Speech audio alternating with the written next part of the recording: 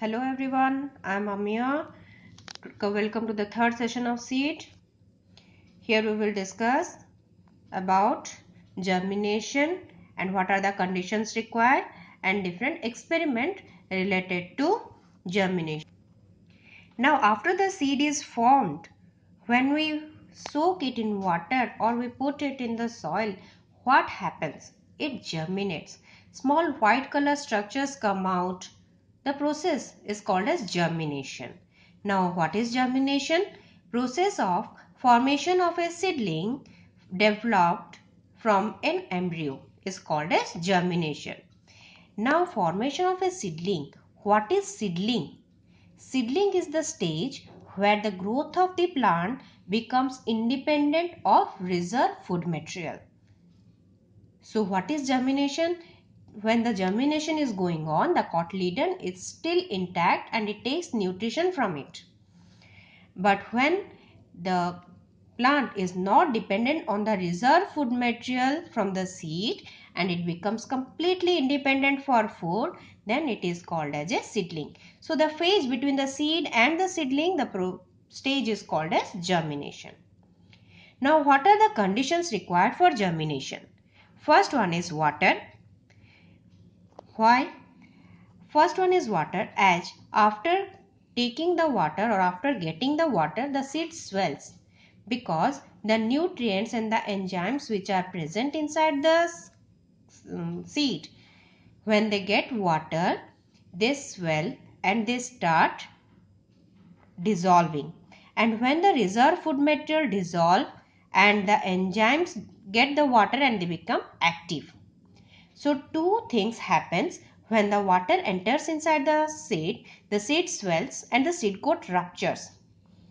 After the seed coat will rupture and the seed will swell by taking the water or imbibing the water, the chemical reactions will start.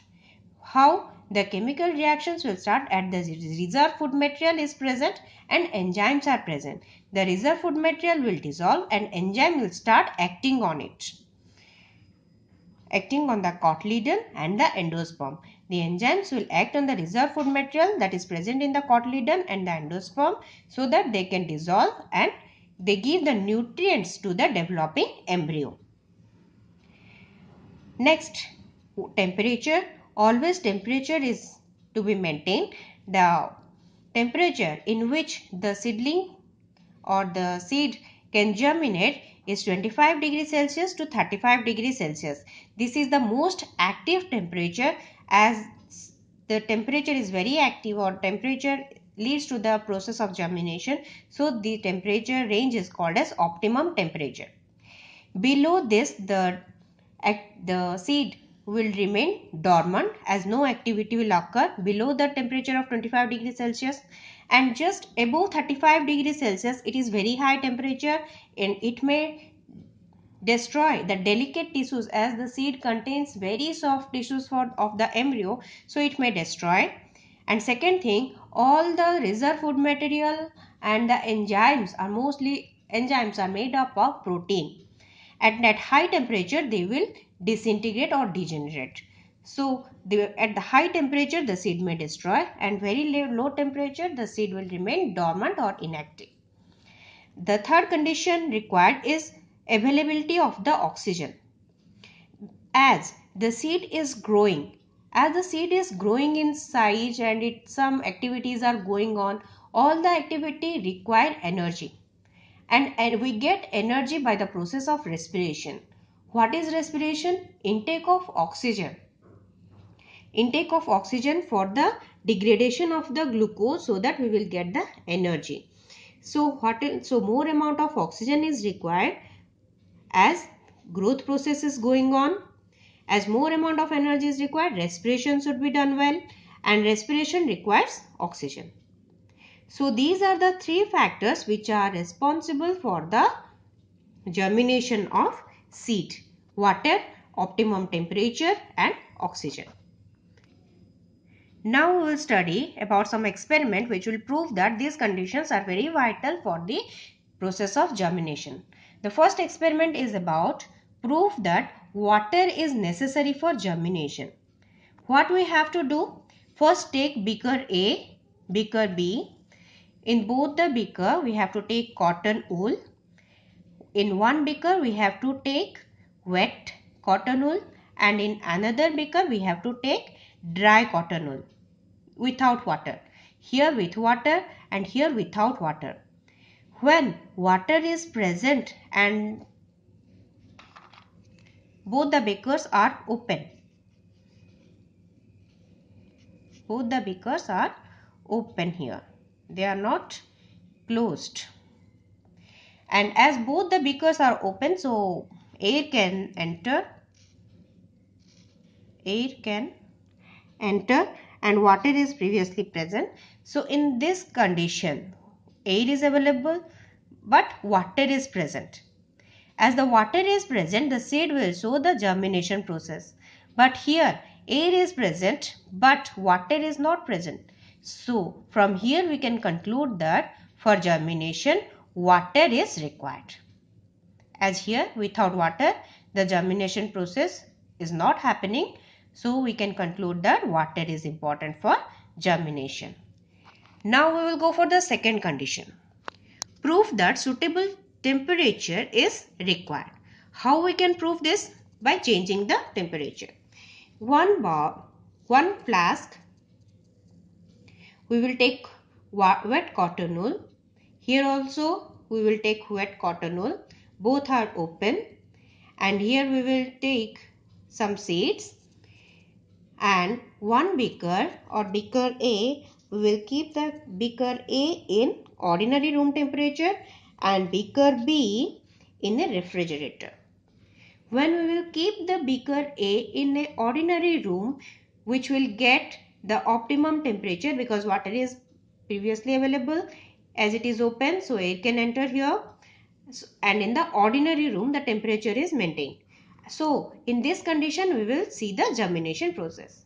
But here what will happen? Just think water is available, air is available but as it is kept in refrigerator the temperature is very low.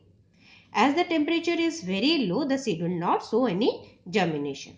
So from here we can conclude that temperature is necessary for germination. Okay. Now the third experiment which will prove that oxygen is necessary for germination. Here take two beakers both are closed. In one beaker we will take water with wet cotton wool. The previous setup only wet cotton wool is taken. In one beaker we have to hang a we have to hang a water test tube filled with water and in another test tube we have to take pyrogallic acid. Pyrogallic acid is a oxygen absorber. So what will happen? whatever oxygen which is present inside the beaker, it will be absorbed by the pyrogallic acid.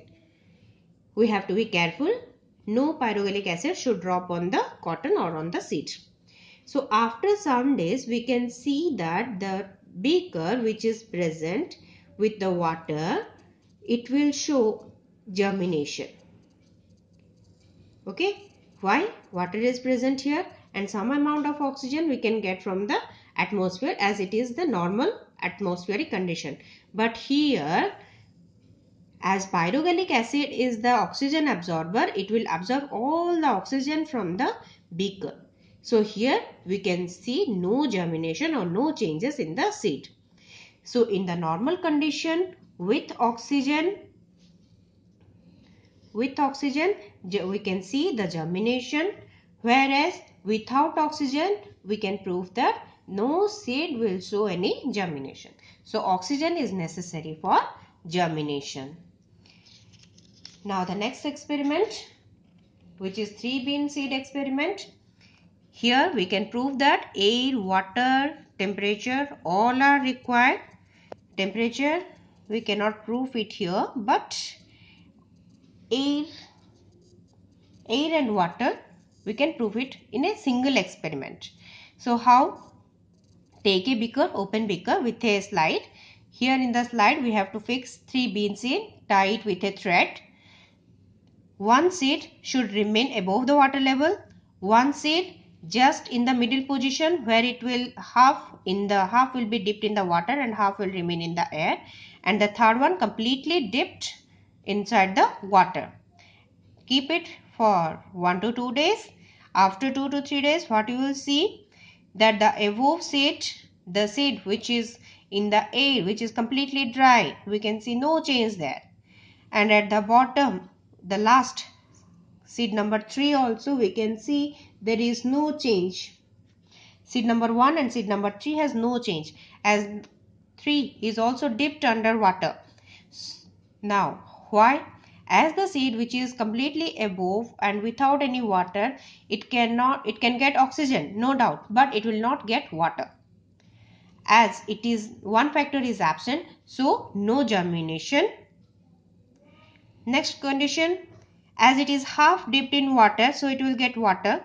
As it is half in the air so it will get oxygen also. So in the condition number 2 we can see germination. Now come to the third condition oxygen at the last condition water is available plentifully plentifully but oxygen is not available. Oxygen will be available only a little as water as the water contains a little bit of dissolved oxygen. But compared to the second one we can see no germination in the third. First and in comparison to the second first and third will show no germination so from here we can conclude that for germination we need air water and perfect temperature for germination. Now after this we will go for what is germination and what are the types of germination. There are three types of germination epigeal germination hypogeal germination and viviparous germination. What do you mean by epigeal epi means above the ground. When the germination occurs and the shoot part and the cotyledon comes out of the ground or above the ground it is called as epigeal germination. Second condition hypogeal germination. When the cotyledon or the seed never comes above the ground and it always remains below the ground hypo means below below the ground then it is called as a hypogeal germination viviparous germination it is called as produced live one still intact in the tree or the parent plant inside the fruit so this one we will discuss later first we will discuss epigeal and hypogeal germination. Here you can see this one is the seed after the germination first the root comes out. After the root comes out you can see the green color part which is shoot part. This shoot part is pushed above the ground okay with the cotyledon or the seed. Now as it is pushed above the ground now after some days we can see this type of condition.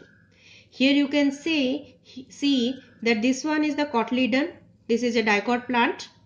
So epigeal condition mostly seen in dicots. And here the portion which is below the cotyledon is called as what? Hypo, below the cotyledon. So hypocotyl and the region which is present above the cotyledon is called as epicotyl. Now this is the germination condition. So when the cotyledons comes out of the ground or above the ground then it is called as epigeal germination. and it is mostly seen in dicots. Why it occurs? As the hypocotyl, as the hypocotyl elongates faster. As the hypocotyl elongates faster, so the hypocotyl comes out with the cotyledon. This is why this is called as epigeal germination. Now come to the hypogeal germination. Hypogeal germination, what happens here? Here you can see the seed here the seed first the root starts, the cotyledon remains under the ground and the shoot comes out like this. The cotyledon always remains inside the ground. It never comes out above the ground. So it is called as hypogeal germination. Hypo means below the ground the germination occurs. Now if you will differentiate between the epigeal germination and hypogeal germination, epigeal germination cotyledons pushed above the ground you can see above the ground cotyledons are always under the ground here hypocotyl elongates. This one elongates faster so that it will push the cotyledon.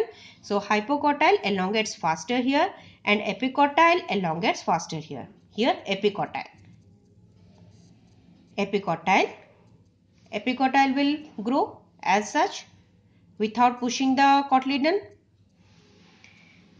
As it is present above the cotyledon so it will grow fast without changing the cotyledon position so it is seen usually in the dicots and it is seen in monocots now last we will study about viviparous germination. Viviparous germination you can see the germination occurs till the fruit is intact with the parent plant. You can see this one is the parent plant and mostly this is seen in mangroves like Rhizophora, Sonneratia, etc. Viviparous seed germinates inside the fruit while it is still attached to the plant. So here with the plant the fruit is attached. The fruit germinates here. This one is the hypocotyl and this one is the root or the radicle and in this condition it falls off from the plant and it will fall in the water as the mangrove plants are seen in water areas here water inside the water it will fall as such the radicle will give rise to root and the hypocotyl will germinate to give the plant. So this is called as the viviparous germination. So in this chapter we have completed what is seed what is the process of germination. After germination seedling occurs. What are the different types of seed? What are the different types of germination? And this completes our chapter. Thank you.